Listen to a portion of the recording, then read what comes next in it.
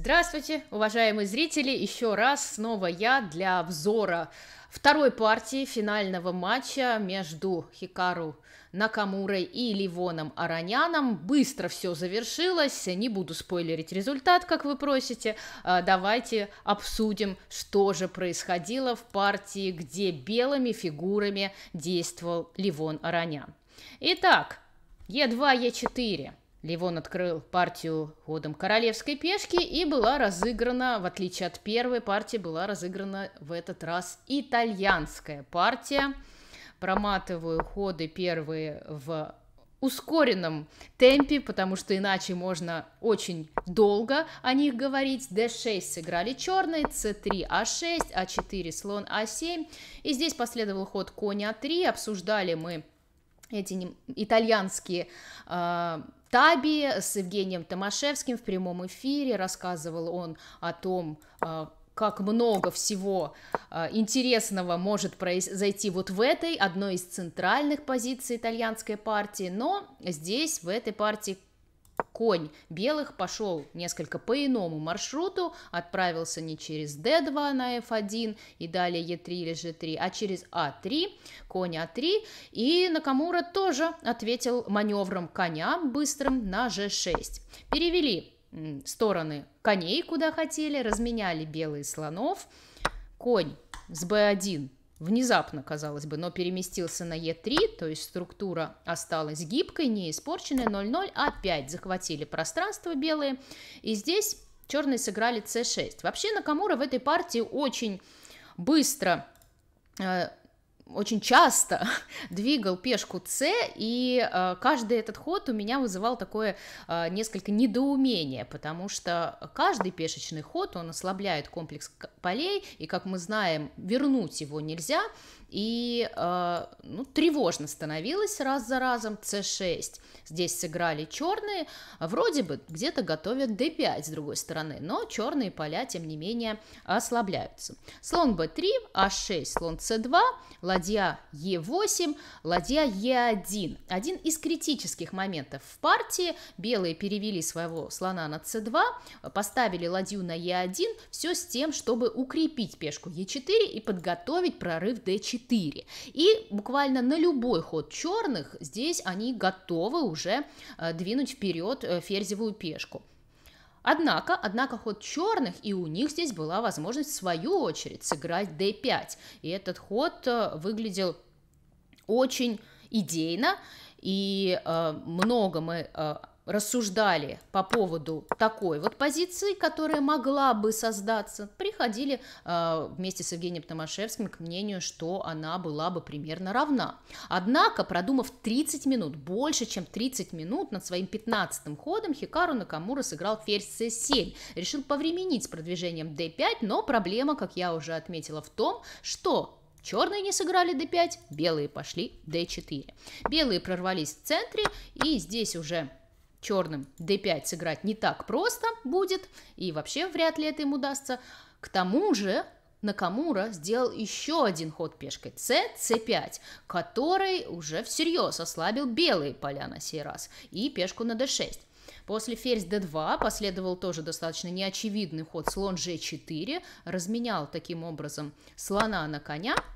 Накамура Ливон в свою очередь, очень быстро, вообще стоит отметить э, быструю игру э, Араняна в этой партии, сыграл ферзь d1, где-то э, посматривает ферзь на коня g4, но, что самое главное, смысл, идея хода ферзь d1 – открыть коню дорогу на c4, на d2 и впоследствии на c4, так как пункт c4, как отмечали мы во время эфира, является ключевым в этой позиции. Если представить белого коня стоящим на c4, а, например, если черные дадут белым два темпа, чтобы перевести коня на c4 и укрепиться там, то позиция черных может стать безнадежной. В свою очередь, черным тоже важно бороться за пункт c4 путем конь e5 и c4.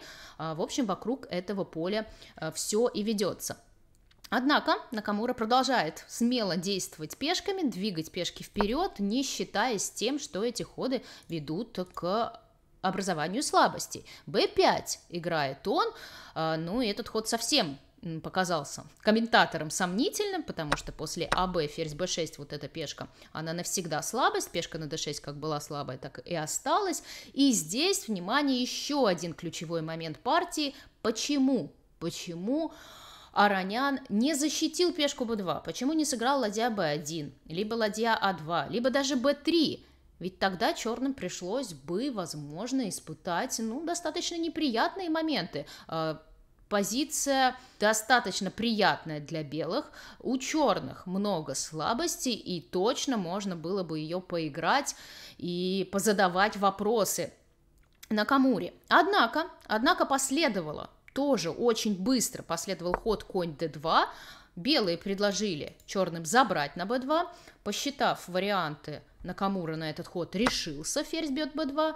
И э, вновь после ферзь b2 очень быстро последовало конь c4, хотя мы разбирали и возможность сыграть слон b3 очень интересную, и возможность пойти ладья c1, то есть попытку как-то окружить ферзя черных. Например, на ход слон b3, если бы белые сыграли здесь слон b3, э, конь под боем, и в случае конь 4 e5 у белых появлялась возможность сыграть ладья e3, затем ладья а2, ферзь в западне. Если после слон b3 побить на c3, то после ферзь g4 теряется ни много ни мало конь. В этом идея э, хода слон b3.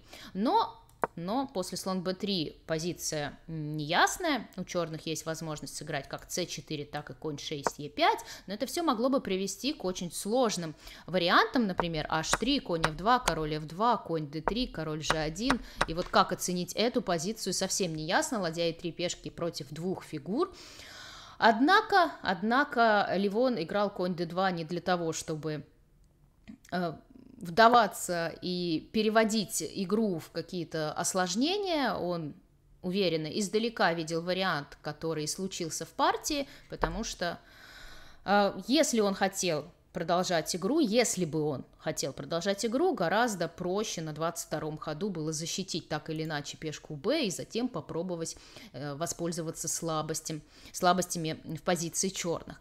А после конь d2 все свелось к форсажу. Ферзь бьет b2, конь c4 было сыграно, ферзь c3 ход единственный, так как черный ферзь обязан оставать, держать под контролем ферзя, он не может просто уйти, так как упадет конь на g4, то есть ферзь c3 ход а, единственный. Конь b6, нападая на ладью, ладья а b8 тоже ходить надо, конь d5, вновь напали на ферзя белые, ферзю необходимо держать под контролем слона c2, ферзь b2, ну и тогда следует ладья b1, и вот такой вот, вот такой вот вечный шах ферзю.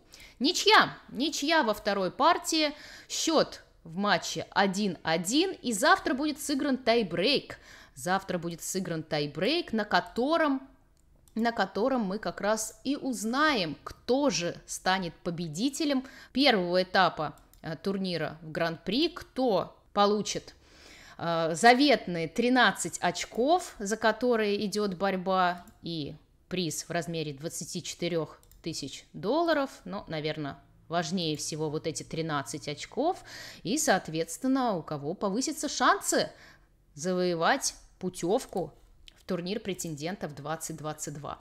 На все эти вопросы ответы узнаем завтра. Также начало тайбрейка в 17.00 по московскому времени. Э, буду ждать вас в прямом эфире. Не болейте, играйте в шахматы. Скоро увидимся.